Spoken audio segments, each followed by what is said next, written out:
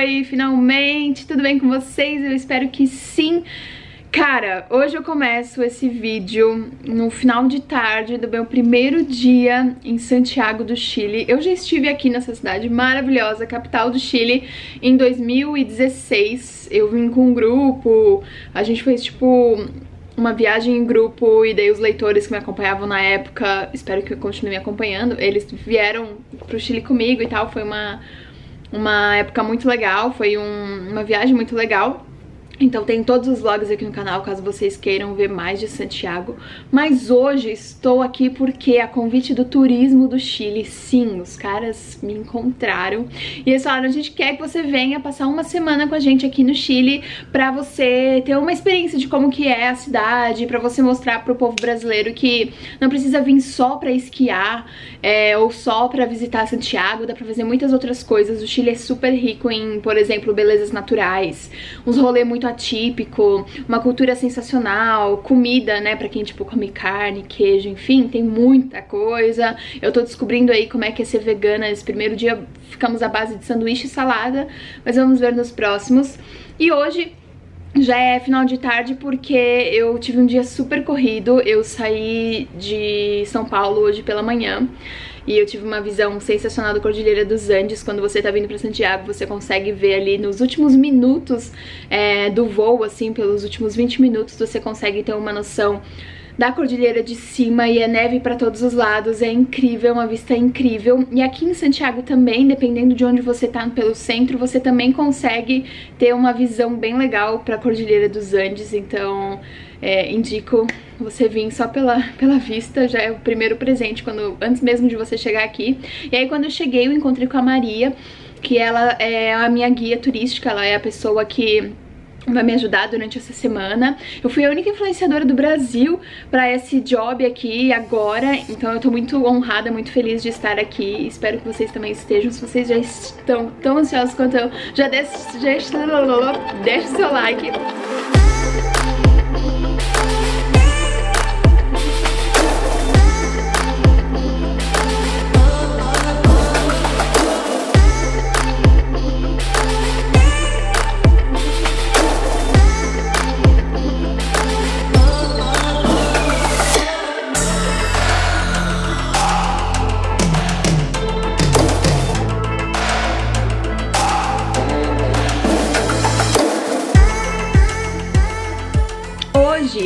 Gente, tipo, chegou no hotel, fez o check-in, que esse foi o hotel que eu fiquei em 2014 também, em 2016 também, muita coincidência. A gente fez o check-in aqui, e aí a gente foi fazer um walking tour é, pela cidade, e depois também visitamos outros lugares e tal. Então a gente conheceu a Praça das Armas, a Catedral de Santiago, que é linda, é gigantesca, cheia de detalhes, sabe? Me lembra tipo uma igreja da Europa mesmo.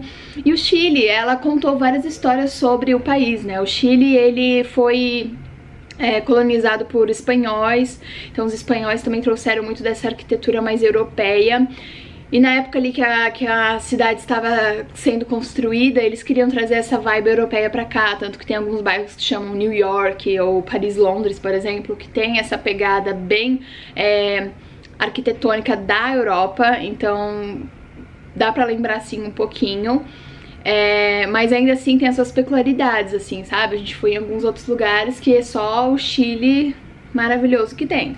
E aí a gente foi na Casa de la Moneda, que é onde fica o presidente e também onde é resolvido várias coisas. Tipo, é uma casa, é um, um prédio super é, famoso e importante pro Chile. Santiago é a capital do Chile, então meio que tudo é resolvido aqui.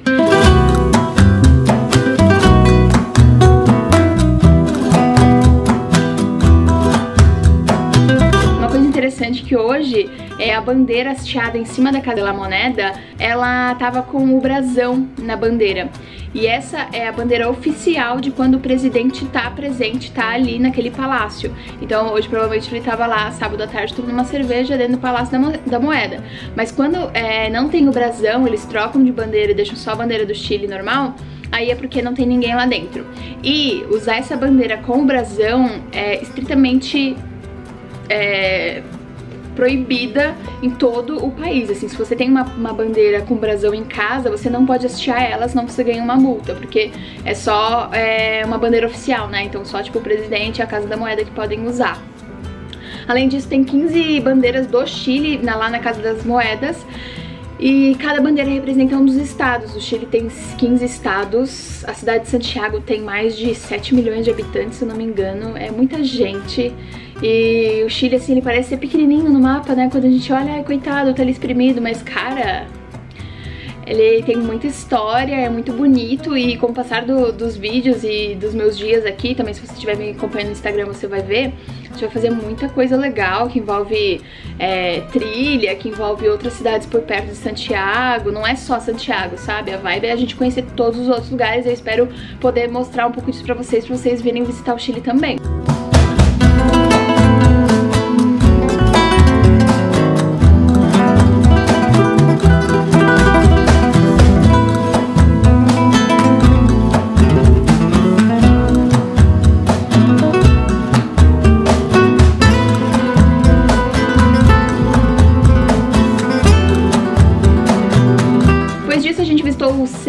San Cristóbal e Cerro, quando você vê essa palavra aqui, porque tem vários em Santiago, é nada mais nada menos que um morro. Santiago tem vários morros e montanhas ao redor dele, tanto que Santiago, infelizmente, tem uma, uma nuvem de de fumaça, assim, meio que de, de poluição, assim, de vez em quando. Hoje não tinha porque tava o dia muito bonito, mas quando são dias mais nublados, que a, a, a fumaça não consegue se dissipar, é, você acaba percebendo isso porque Santiago fica meio que num buraco, né? Tem muitas montanhas e até a cordilheira por perto, então é difícil de dissipar sempre essa, essa poluição. Mas aí tem os vários cerros e a gente foi no San Cristóbal, que é o segundo pico mais alto aqui do Chile e a gente pegou um bondinho e lá de cima dá pra ter uma vista sensacional da cidade. Muita gente paga, e eu paguei da outra vez também que eu vim pra cá, pra ver a cidade de cima do Sky Constaneira que é o maior prédio da América Latina. É muito legal, acho que são 64 andares e tal, só que o Cerro San Cristóbal é de graça, se você quiser subir ele andando, senão você paga acho que 4 mil pesos, dá mais ou menos uns 10 reais pra subir ele de bondinho. E eu acho que é mais barato do que o Sky Constaneira, que você paga tipo 30 mil pesos e não só 4 mil. E você tem uma vista igual e tão sensacional quanto. Aí depois disso a gente visitou mais alguns lugares, a gente foi pra um parque muito legal, onde eu pude dar alimentos, ali dar raçãozinha pros flamingos, que são flamingos que eles cuidam, que tipo estão em fase de readaptação ao meio ambiente, também tem cisnes no parque, tem várias pombinhas, vários patinhos, o parque se chama Parque Bicentenário, tem uma vista linda pra montanhas, o parque é bem aconchegante, bem gostoso, mais uma opção aí de graça pra fazer aqui em Santiago, principalmente nessa época do ano, quando tem dias bonitos, aqui você pode beber na rua. Então a galera, tipo, faz piquenique na rua, leva uma cerveja, leva um pisco-sal, leva qualquer bebidinha é, chilena, um vinho, né? Que o Chile é muito, muito famoso pelos vinhos.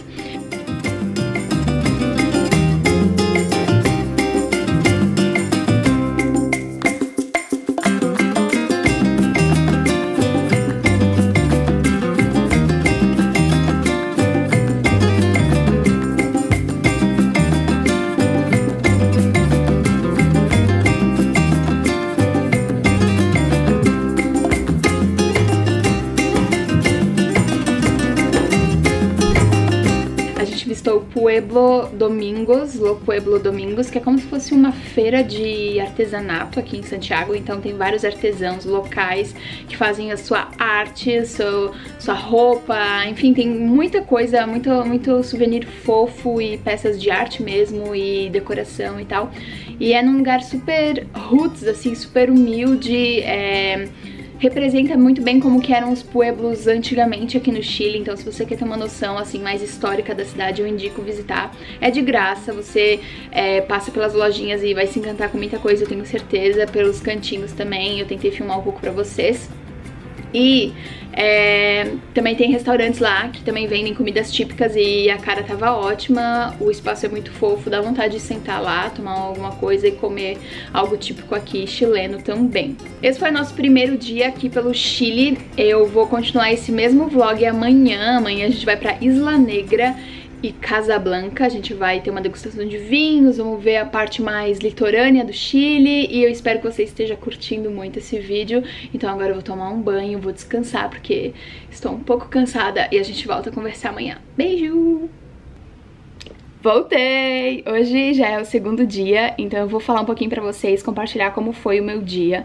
A gente começou o dia de hoje, que tá super sol, e eu tô me surpreendendo com o verão do Chile, visitando a casa de Pablo Neruda, Isla Negra.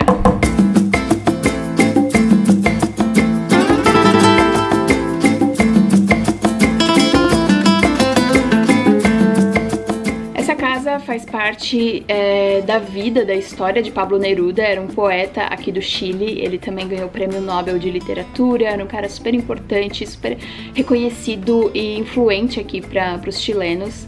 É, ele escreveu vários livros de poema, um deles até inspirado nessa casa que a gente foi visitar. E a casa é algo, tipo, muito atípico, único, que eu acho que merece a sua visita. Não, não tem nada parecido em outros lugares que eu já visitei. É, agora hoje virou um museu, então em cada sala você consegue com o audio guide entender o porquê daquele imóvel, o porquê daquela decoração, é, enfim, como é que era a vida de Pablo Neruda dentro daquela casa. Tem muita coisa relacionada à história dele que eu acho interessante você dar uma olhada. Tem, tem alguns filmes e documentários sobre a história, então se você quer saber um pouco mais do Chile, principalmente antes de viajar pra cá, pesquise sobre Pablo Neruda. E a casa de Isla Negra é incrível, custa 7 mil pesos pra visitá-la, e se você for estudante ou mais de 60 anos, é só 2.500 pesos. Além disso, a casa não pode ser fotografada ou filmada por dentro, então é, eu não pude mostrar pra vocês como é que é dentro da casa, só que é, o exterior dela é muito incrível, é muito bonito, a casa é gigantesca, tem vários cômodos muito legais, muito únicos, ele também é, tá enterrado lá junto com a última esposa, ele teve três esposas, então lá também é, tem a tumba dele onde você pode observar. É, a casa ficava, tipo, bem na costa, então você consegue ter uma visão incrível é, do Pacífico. O quarto dele, por exemplo, ele colocou a cama de forma que ficasse para uma janela panorâmica, assim, então a primeira visão que ele tinha ao acordar, sem cortina, sem nada, era o mar, imenso, imenso, imenso, porque a casa é mais alta, então parece que tudo ao redor da casa é mar, é uma vista incrível, rende boas fotos.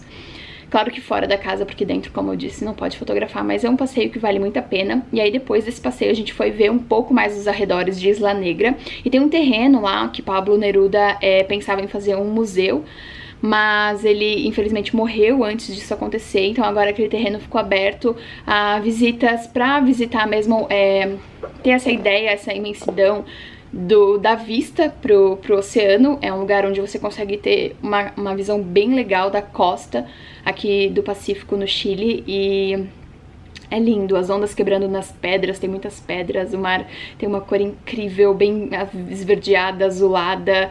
É, a água do Pacífico é bem gelada, mas vale muito a pena, depois que sair de Isla Negra, dar uma passada nesse lugar de Pablo Neruda para ter essa, essa vista desse lugar. Depois disso a gente foi é, à praia de Al Alfarroba, não, Algarroba, meu Deus, eu, eu não sei nada de espanhol. Mas a gente foi nessa praia, que é uma das praias é, mais caras aqui do Chile. Tem um condomínio gigantesco na frente, que parece meio Dubai, assim. E tem uma das maiores piscinas do mundo dentro desse condomínio. A piscina é ridiculamente grande.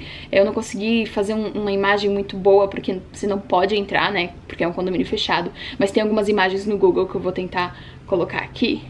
E aí vocês podem ter uma noção de como é essa piscina gigantesca. E aí a gente foi mais pra dar uma olhada nisso, até porque o nosso restaurante ficava próximo. E aí foi hora de comer, eu tava com muita fome, foi muito gostoso. Eu tô me virando como dá aqui no Chile como vegana, porque realmente tudo é a base de ceviche, é, peixe, também é ceviche, mas carnes e, enfim, tudo tem carne ou tem presunto, ou enfim. Mas tem muita coisa também que tem abacate e palmito. E aí eu fico muito feliz porque eu adoro abacate e palmito. Então, tipo, sanduíche, salada e batata frita. Eu tô basicamente vivendo a base disso. É, mas até o pisco sour, se você é vegano, tem que tomar cuidado, tem que pedir pra eles tirarem o ovo na hora de fazer o pisco, que é um drink bem... É, tradicional aqui do Chile, porque eles colocam a clara do ovo no pisco sour. Sim, crua, assim, desse jeito. Eu não sei acho esquisito. Mas aí, se você quiser experimentar o pisco sour, pede sem a clara do ovo e aí vai dar tudo certo, ok?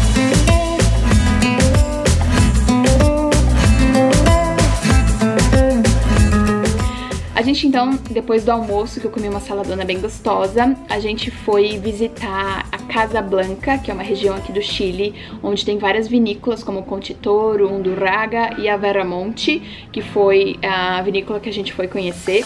durante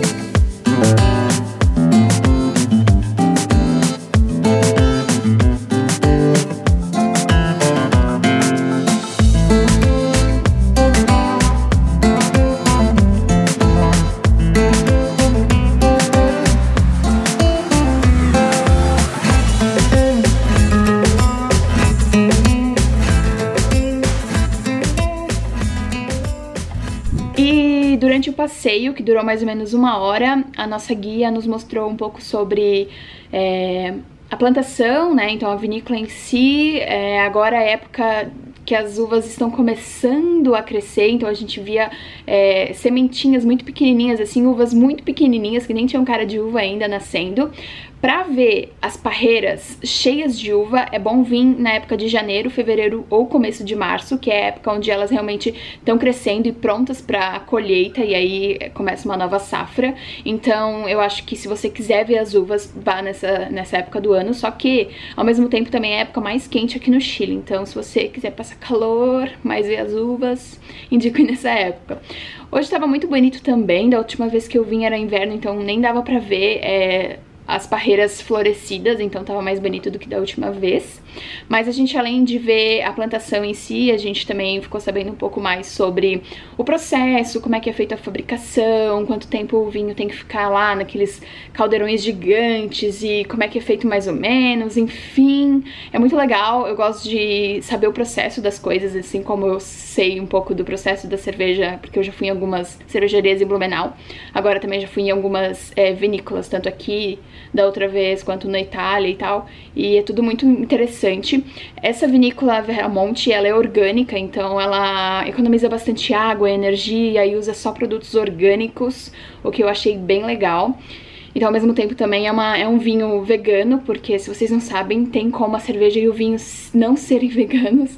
É, eu posso falar disso em outro vídeo, mas então esse, essa vinícola é bem bacana, principalmente para quem tem mais esse esse lado orgânico, sustentável e tal, eles prestam bastante atenção nisso.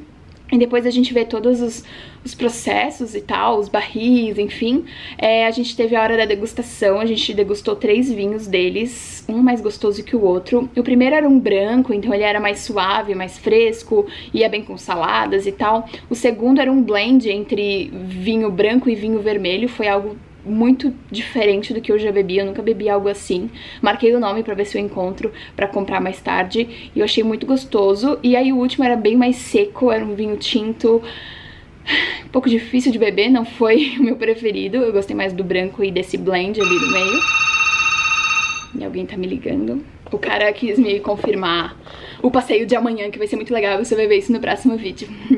Recapitulando, é, depois da, do wine tasting, né, da gente ter degustado os vinhos, a gente voltou pra cá e esse foi o nosso dia super corrido, mas o dia tava incrível, sol e tava gostoso, foi legal conhecer essa parte litorânea do Chile que eu não conhecia e são lugares que eu não vejo, tipo, em vlogs ou em roteiros de viagem do, dos brasileiros, sabe? Eu acho que são lugares que vale a pena você visitar. Além desses que a gente visitou hoje, vai ter vários outros durante a semana que eu vou continuar visitando com o Chile Travel, que foi quem me trouxe pra cá. Então, sim, né? Turismo do Chile.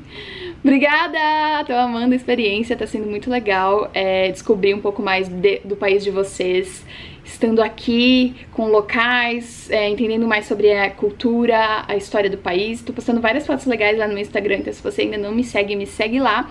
E não sei se vocês sabiam, eu não sabia, talvez você também não saiba, que o Chile foi considerado o melhor país do mundo para viajar, para turismo no ano de 2018 e tá entre uns, uh, um dos países da lista de melhores lugares para turismo de aventura em 2019.